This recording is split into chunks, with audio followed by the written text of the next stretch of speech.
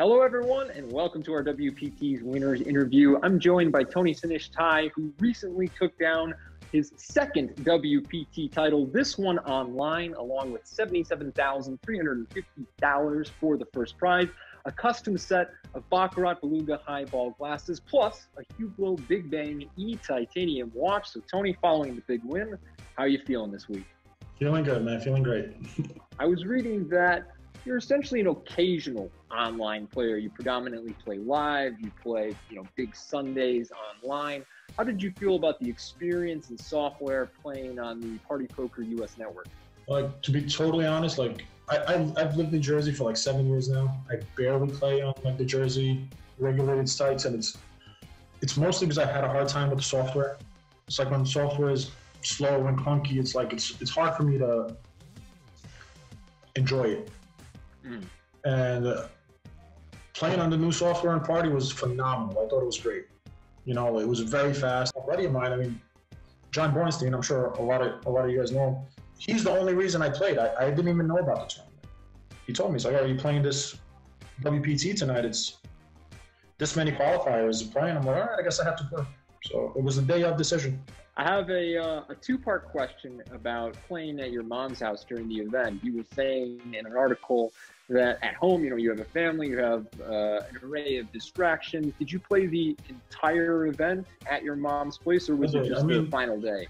I'm actually in the process of moving into a house, which is going to give me, you know, my own my own space, my own office. But living, you know, living in an apartment, two bedroom apartment with, you know, a family, two little kids. It's like I don't have my own space it's so much easier just to go somewhere else where I could sit and actually play.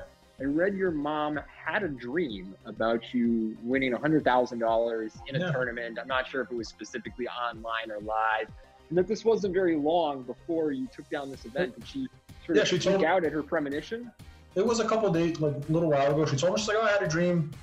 You know, we were sitting in a room with your dad, and he was telling us how you won $100,000. And, you know, like, she tells me dreams so Monday, like my mom goes to bed early, so she's long gone by the time the tournament was over. And in the morning, she wakes up. She's like, "Oh, how'd you do?" I was like, "I won." She's like, "I told you." Like, remember the dream I told you about? You know, you you, you won a hundred thousand. I was like, "All right, yeah." I was like, "I do remember that." So she's like, "I, I knew you were gonna win." I'm like, okay.